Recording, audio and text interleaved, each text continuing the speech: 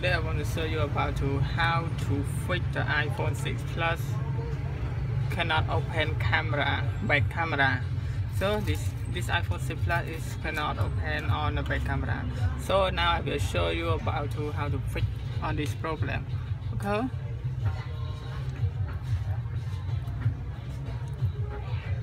Uh, when your camera is cannot it cannot open on back camera the first you should remove one IC this this place is the IC camera. One IC and resolder with two pin.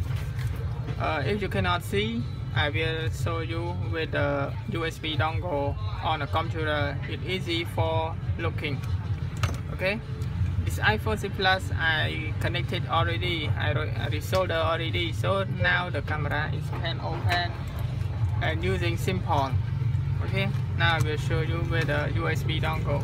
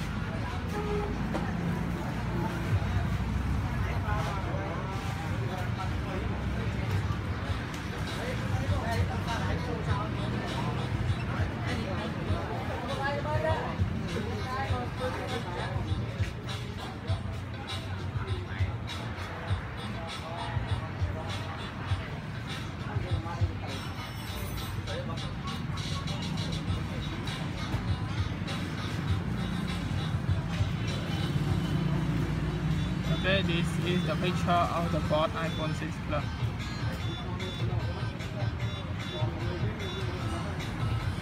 Okay.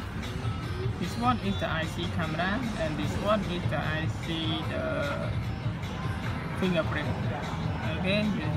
I recommend for you this should be resolve and this two pin resolder this pin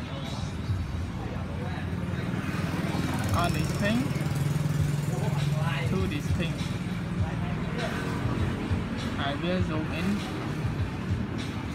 for you. Know these two things. Only result underneath, only these two things. It will be camera can access. Okay. If you have a problem, please comment and chat to me. I will show the problem for you. Thank you for watching this video.